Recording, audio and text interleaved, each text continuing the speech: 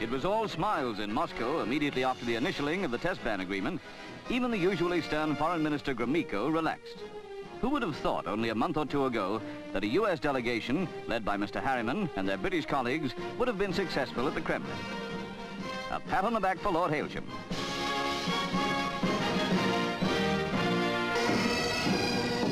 No wonder the Conservatives were in great spirits for their rally at Chilham Castle.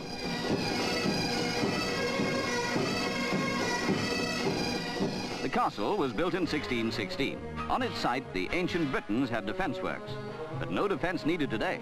Edward Heath was in a jovial mood, here to support the Premier and try his hand at beating the clock. Till the business of the day began, all the fun of the fair.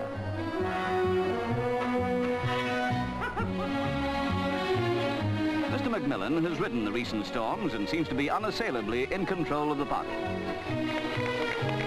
Dorothy, the PM himself, and in fact most of the world, reflect the joyful mood of the test ban agreement.